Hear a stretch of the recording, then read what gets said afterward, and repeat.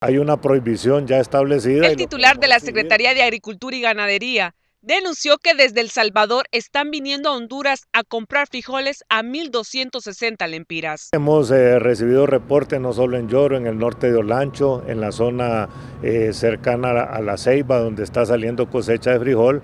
Eh, se nos ha reportado, a pesar de que hay una prohibición de exportación, el día de ayer hablamos con el ministro Alden Rivera de Desarrollo Económico para ver cómo involucramos a la Policía Nacional eh, para que nos ayude a controlar, porque en este momento eh, están prohibidas las exportaciones. En ese sentido, el presidente de la Federación Nacional de Agricultores y Ganaderos de Honduras confirmó esta denuncia. Sí, hemos tenido, ahorita nos mandaron un mensaje que ya en Esquipulas del Norte ya tenemos la presencia de camiones salvadoreños comprando la producción nacional.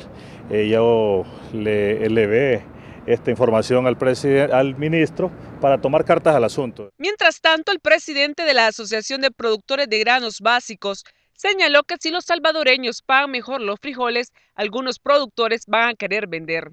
Eh, tenemos ya información y lo vemos con muy, buen suceso el hecho de que hay un precio mínimo de garantía de mil empiras el quintal.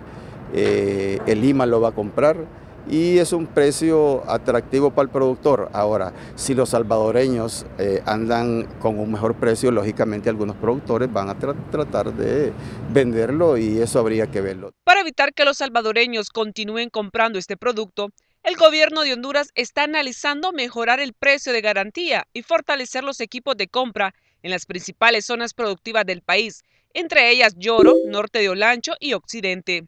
Desde Notifides le invitamos a fomentar una cultura por la paz. Con imágenes de Amílcar Sánchez les informó Ingrid Almendares.